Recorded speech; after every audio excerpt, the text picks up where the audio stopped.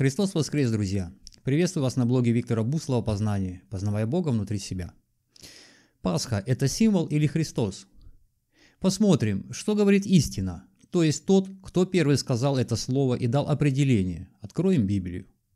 Пасха сегодня – это служение и пасхальная жертва Господу, который прошел мимо наших домов, когда поражал грех, и тех, кто его делает, и других искушает. А дома наши избавил. Пасха – это символ, праздник или Христос. Пасха упоминается впервые в Ветхом Завете и повторяется в Новом. Пасха праздновалась в Ветхом Завете и празднуется в Новом, потому что Бог сказал, чтобы мы хранили это служение, как закон для себя и для сынов своих навеки.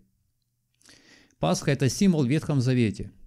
Праздник Пасхи или освобождения отмечался в память об избавлении иудейского народа под руководством Моисея, пророка из рабства египетского. В этот день приносили ягненка как жертву. Прочитаем книгу Исход, 12 главу, стихи с 3 по 12.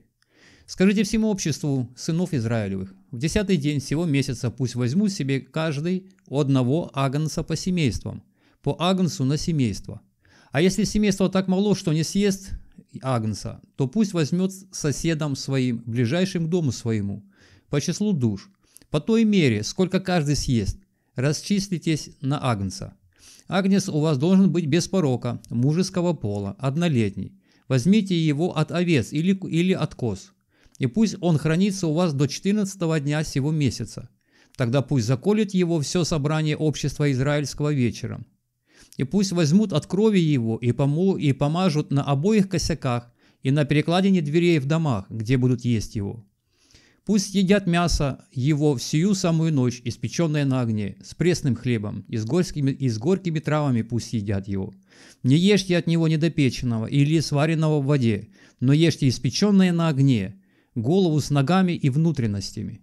Не оставляйте от него до утра, и кости его не сокрушайте, но оставшиеся от него до утра сожгите на огне. Есть, ешьте же его так – Пусть чресла ваши будут припоясаны, обувь ваша на ногах ваших, и посохи ваши в руках ваших, и ешьте его с поспешностью. Это Пасха Господня. А я, а я в сию самую ночь пройду по земле египетской и поражу всякого первенца в земле египетской, от человека до скота, и над всеми богами египетскими произведу суд. Я Господь. Это написано в книге Исход, 12 глава, стихи с 3 по 12. Приготовить ягненка всей семьей – Нужно было приготовить ягненка годовалого и съесть всей семьей, без остатка. Если семья была маленькая, то нужно было разделить на несколько семей. Кровью этого ягненка нужно было помазать, помазать косяки дверей на улице. В то время, пока семьи приготовляли ягненка, на улице Бог производил суд над первенцами в Египте. Пасха – это как монета, и, и есть две стороны. Одна сторона – это жертва ягненка и спасение. Вторая сторона – это суд Господень. А где мы будем с вами, друзья? Какую сторону мы, мы выбираем? Бог дает, Бог дает нам самим выбирать направление в нашей жизни, как мы будем жить. Давайте, друзья мои, окропим свои косяки дверей кровью ягненка. А окропим мы или нет, я вас приглашаю окропить. Пасха – это служение. Что это за служение? Пасхальная трапеза и закланный ягненок. Это пасхальная жертва Господу. Как написано в книге 12 исход, исход 12 глава. Э, храните сие, как закон, для себя и для сынов своих навеки, когда войдете в землю, которую Господь даст вам, как Он говорил, соблюдайте сие служение. И когда скажут вам дети ваши, что это за служение, скажите, это пасхальная жертва Господу, который прошел мимо домов сынов Израилевых в Египте, когда поражал египтян, и дымы, а дома наши избавил. И преклонился народ и поклонился. И пошли сыны Израилевы и сделали, как повелел Господь Моисею и Аарону, так и сделали. Это книга Исход, 12 глава, стихи с 24 по 28. Пасха – это служение и пасхальная жертва Господу, который прошел мимо домов сынов Израилевых в Египте, когда поражал египтян и дома наши избавил. Пасха – это служение и пасхальная жертва Господу, который прошел мимо наших домов, и когда поражал грех, и тех, кто его делает, и других искушает, а дома наши избавил. Пасха в Новом Завете. Пасхальная жертва в Новом Завете – это наш Господь Иисус Христос. Как говорил Он сам про себя в Евангелии от Матфея, 26 главе. Когда Иисус окончил все слова сии, то сказал ученикам своим, «Вы знаете, что через два дня будет Пасха, и сын, человеческий, и сын человеческий будет предан на распятие. Тогда собрались первосвященники и книжники и старейшины народа во двор первосвященника по имени Каяфы. Это Евангелие от Матфея, 26 глава, с 1 по 3 стих. Господь говорил, что наступает новый завет, человек, человек, новый завет человека с Богом. И в этом новом завете на Пасхе вместо ягненка будет принесен в жертву Сын Человеческий, будет предан на распятие. В Новом Завете Пасха – это Сын Человеческий Иисус Христос, который предан на распятие и принесен в жертву за грех человека. Давайте посмотрим, что говорит Павел о Пасхе. Апостол Павел в первом послании к Коринфянам 5 главе пишет – Итак, очистите старую закваску, чтобы вам быть новым тестом, так как вы бесквасны, ибо Пасха наша, Христос, заклан за нас.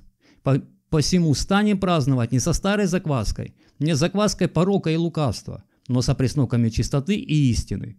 Это написано 1 Коринфянам 5 глава, стихи 7-8. За нас, за меня, за вас сейчас принесен жертву, заклан Иисус Христос. Пасха наша – это Христос. И он сказал, как нам праздновать Пасху. А это не с делами греха и хитрости, и обмана, лукавства, а с делами чистоты перед Богом. Быть чистым сердцем и душой, делами. И познавать истину, читать Слово Божье, слушать проповеди, ходить в церковь и пребывать в общении верующих. Пасхальная жертва Иисуса Христа. Пасха – это как монета. И есть две стороны. Одна сторона – это жертва Иисуса Христа и спасение. Вторая – это суд Господень. А где мы будем с вами, друзья? Какую сторону выбираем? Бог, Бог дает нам самим выбирать направление в нашей жизни и как мы будем жить. Окропим косяки своих дверей кровью Иисуса Христа или нет? Окропить молитвой покаяние перед Богом. Это прийти искренне с молитвой и покаянием перед Богом и верой в Иисуса Христа, в то, что Он сделал для нас, что Он взял наши грехи на себя, был наказан вместо нас на кресте – был казнен и похоронен, но он на третий день воскрес. Пасха сегодня – это служение и пасхальная жертва Иисуса Христа Господу, который проходит мимо наших домов, когда поражает грех и тех, кто его делает, и других искушает, а дома наши избавляет. А сейчас я заканчиваю. Если вам понравилась запись или вы получили слово откровения от Духа Святого, поставьте лайк, подписывайтесь, делитесь и передавайте привет братьям и сестрам. Аминь.